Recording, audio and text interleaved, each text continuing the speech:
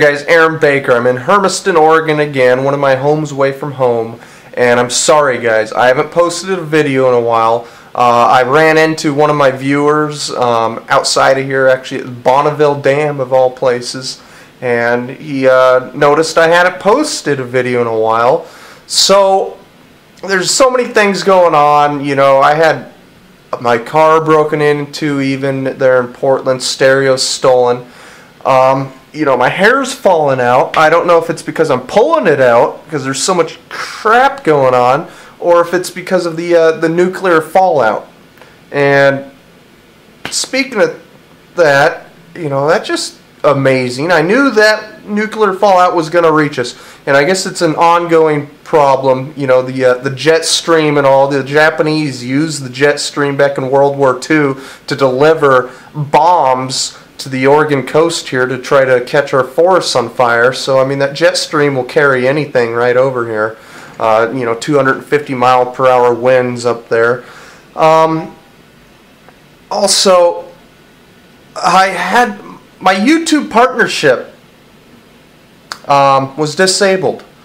Um, is there a greater conspiracy to that? I don't know. And other news, uh, remember Art Robinson? He was uh, endorsed by Ron Paul. He was running for Congress down in uh, my district, District 4 in Oregon, against Peter DeFazio, a long time, 30, 30 some odd years in politics, old school politician, dirty as can be, and a flagrant communist, uh, progressivnia. Uh, of the uh, Progressive Party. Uh, it's in the English word, which is just the, the same thing the communists called themselves in uh, the Soviet Union and all. The progressives, the Progressivnia. Um, anyhow, art.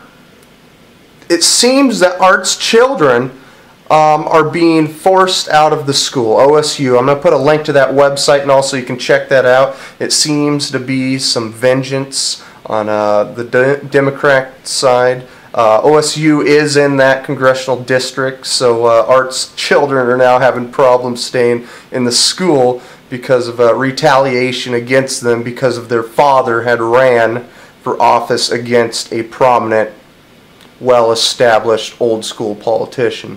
So uh, that's some terrible stuff. Um, I might have a little bit of video here showing um, I believe it was Joshua's first time I had ever met him. It was uh, it is uh, Art Robinson's son. I think one that is having a lot of trouble.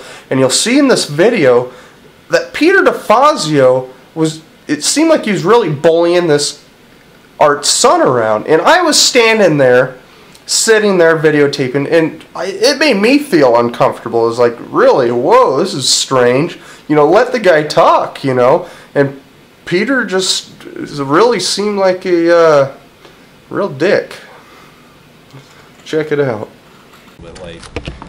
Um, it's an interesting uh, year, an election year. Uh, you know, I'm uh, running for re-election. Uh, you couldn't have a more defined difference between myself and my opponent. Um, in fact, it's, it's, I see one of his sons here who came to many of my town halls. Welcome, good to see you again.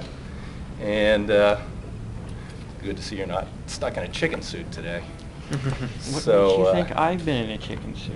Oh, I don't know. I, it's hard to tell who was in the chicken suit because you can't tell who's in the chicken suit. But Oh, anyway, I think you made know. your sister do it one day. That wasn't very nice. But anyway. Um, and uh, we'll we'll start with uh, education in the university. Uh, I'm a big supporter of public education. Uh, my opponent has campaigned for years to abolish public education. He now says he just meant abolish the federal Department of Education, although he never said that before. Well, fine, here, Uh, you But no, should, no, you should put it in shh, you'll- You'll get, though. you'll get, you'll get, your, you know, you get a chance for a question. Don't Okay, do you, do you mind? Do you mind? But he has said definitively, just answered a questionnaire from Project Vote Smart, that he is against federal financial student aid. And I just